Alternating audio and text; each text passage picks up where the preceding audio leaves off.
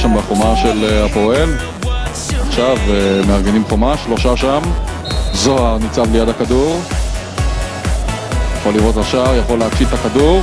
מחפש את השער! וזה לפנים! איזה כדור אדיר של איציק זוהר! 1-0 למכבי תל אביב! דיברנו על הבעיטות של זוהר, והנה הוא מספק את הסחורה! שווייצר עטה למציאה הזו. קפלן בשמאל. בנצי מחליף כיוון. עוד רבי כהן. איזה שער! שער נפלא!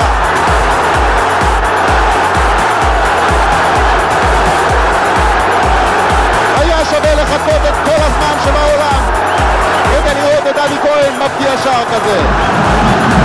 אבו סיאם. תראו את הכיכרה הזו של אבו סיאם!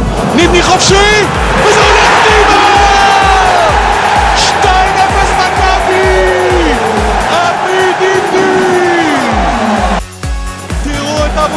סיאם שמטייל בין שלושה שחקנים של הפועל!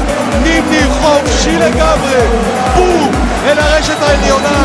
צהוב 2! אדום 0! הדרבי של מכבי!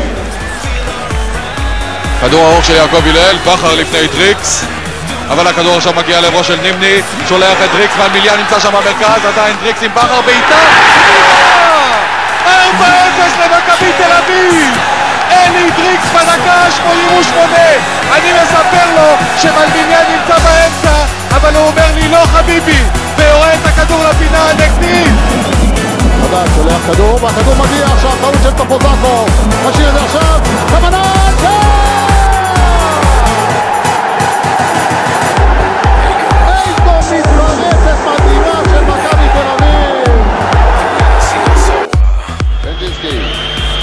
לביטון, מהלך טוב